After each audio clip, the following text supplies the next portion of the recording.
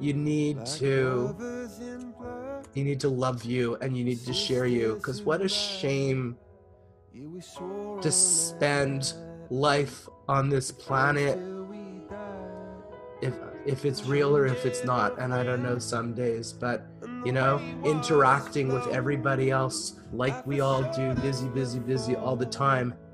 But to do that in the cold and in the dark in sadness and sorrow and fear and pain to only figure it out on your deathbed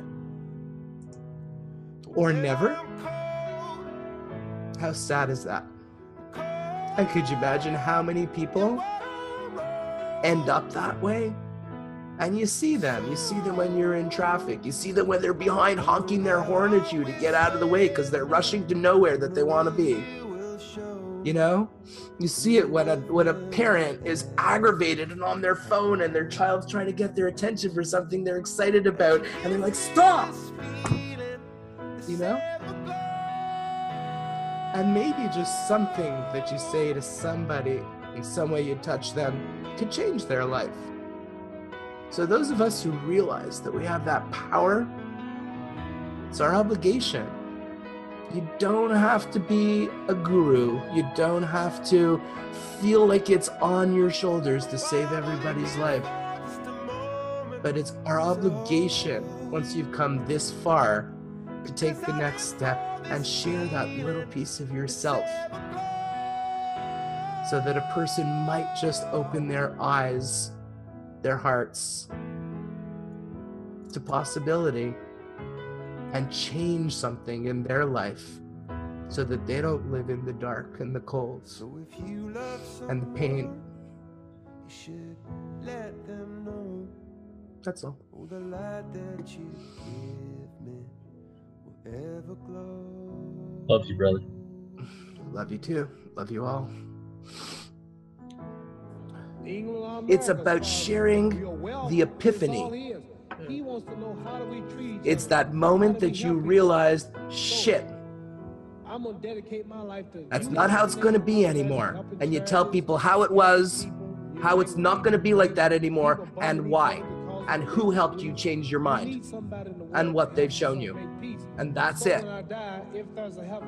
And people are going to want to know, hmm, anybody that relates to your story, going to want to meet the people that you've met that are giving you this love, this friendship, this education, this coaching, this way out of your stuck situation.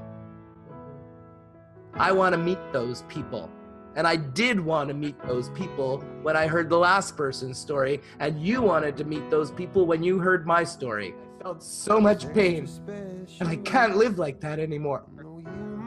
I won't live like that anymore because I know that there's better now.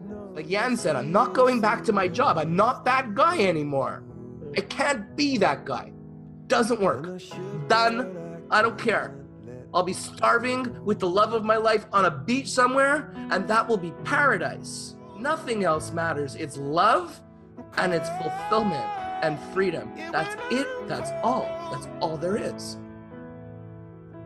And is there a person on this planet that doesn't want that?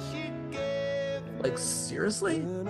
And if that person exists, you don't want them anyways. You don't want them to listen. And someone that says, oh, you're full of shit, you don't want that person. But those of you who do believe what I'm talking about because it's true and I'm living it, and I found it, just let me show it to you. That's all I ask. Do yourself that service and let me show it to you. That's all. I'm not a marketer. I'm a being who, who, who is in pain, that found something. I just found something. I took a shot. I believed in myself for one second and clicked on something when everybody else said, You're not going to go and click on shitty, like stupid things on the internet. And I just did it. And look at all, look at what I found. Like, I don't even know what's inside this machine that I hang out in all the time and all these people around the planet. You know, that's why we're talking about getting out and going and touching and, and sharing some hugs and some real live energy. Because sometimes it's like, shit, like, is this real? This can't be real. This is too wonderful.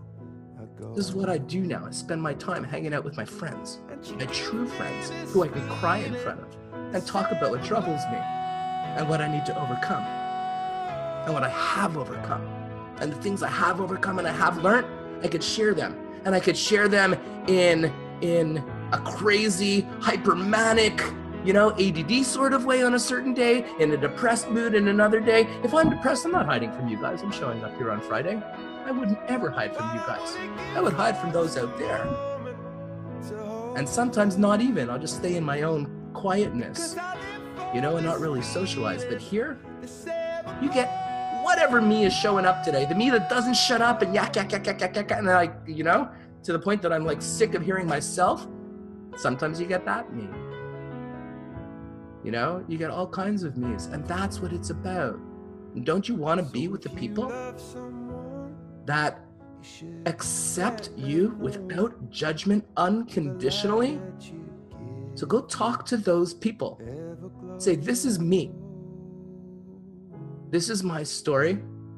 This is the pain I felt, and I'm figuring out a way out of it. And if you want to figure your way out of your pain, maybe come check out what I've checked out. That's it. That's all, folks. God is God don't praise me That's because all. I beat Joe Frazier. God don't give nothing about Joe Frazier. Sorry. God don't care Mic drop. England or America as far as we are well.